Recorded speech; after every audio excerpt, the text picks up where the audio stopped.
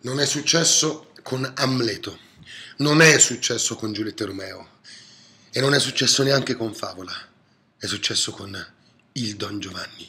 Vivere è un abuso, mai un diritto. È uscito finalmente il testo, l'ebook. Quindi, uno, se vi è piaciuto lo spettacolo, comprate il testo. Due, se non vi è piaciuto lo spettacolo, comprate il testo.